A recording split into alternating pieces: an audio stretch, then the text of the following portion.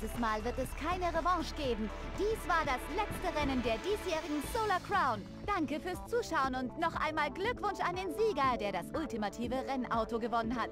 Sollten Sie ihm in der Stadt begegnen, fordern Sie ihn doch zu einem Duell heraus. Wer weiß, vielleicht werden Sie beim nächsten Mal der Gewinner sein.